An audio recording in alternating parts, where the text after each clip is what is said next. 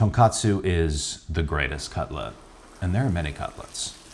And the reason why is so simple, it can be boiled down into two words, panko breadcrumbs. And while there's a lot to be said about panko, the reason why I'm making this video is to share something that can lead to a massive improvement in really any cutlet, which is how to totally rebuild the breading process. And if you want the quick take, here it is. Make a culinary glue of three parts egg whites to two parts cornstarch. Dunk the cutlet into it and then cover it in breadcrumbs. It's that simple. But if you want to learn why it works so well, as well as how to make a delicious yuzu bulldog mayo, stick around. I'm gonna start by butterflying a pork loin. Basically, make one cut almost all the way to your cutting board and then a second cut all the way through. And then unfold them and put them onto plastic wrap. And this part is totally optional, but I really like to add some extra flavor here. So I'm gonna add thyme leaf, zested lemon, and gochugaru chili powder to both sides of the meat.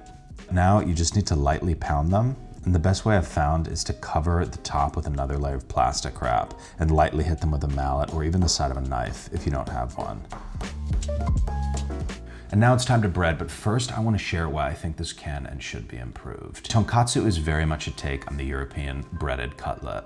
And while the updated breadcrumb led to a massive improvement, the breading itself has largely remained the same. And there are two reasons why I think this should be improved. The first is how complicated it is. I don't know about you guys, but I hate doing dishes and I will do almost anything to get out of them. And the second is the breading itself. You see, to me, a breading is all about maximum crispiness. And there are two things in the traditional breading that are really getting in the way of that. The first is the wheat flour. In the modern world, we have much better pure starches than wheat flour that will get much crisper, like cornstarch. And the second are the egg yolks, which contain fats and lecithin, which will never get crispy, as opposed to an egg white, which is almost pure albumin and able to get incredibly crunchy and delicious. So what I'm gonna do is make a glue by combining two egg whites, which weigh 90 grams, with 60 grams of cornstarch and whisking it together. And I'm calling this a glue because that's exactly what it's gonna do. It's gonna stick the panko to the pork. So just dunk it in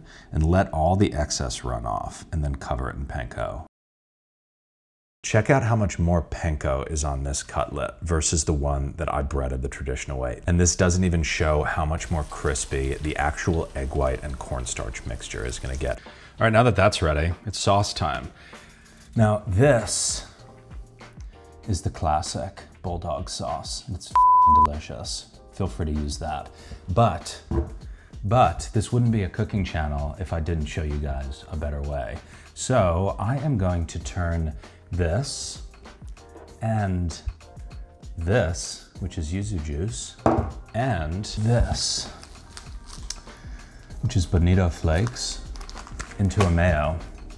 It's gonna be delicious. I'm using 45 grams of pure yuzu juice, 45 grams of bulldog sauce, and 45 grams of a concentrated dashi, which is made by boiling 90 milliliters of water and pouring it over 25 grams of bonito flake, and then letting it steep like a tea for 10 minutes and then straining it out. Combine these with two egg yolks and a pinch of salt in a food processor, and then drizzle in 500 milliliters of grapeseed oil while it's running.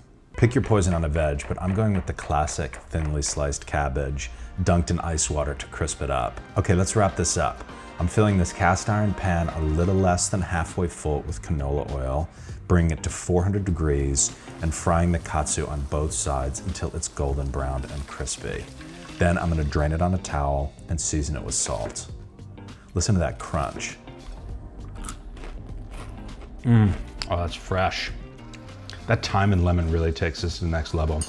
I gotta say, it turns out that Yuzu Bulldog Mayo is like perfect. That little brininess from that dashi in there, it's mind blowing. And there are endless applications for this breading process, but those are all topics for another video. So that's all from me. Thanks for watching, and I will see you soon.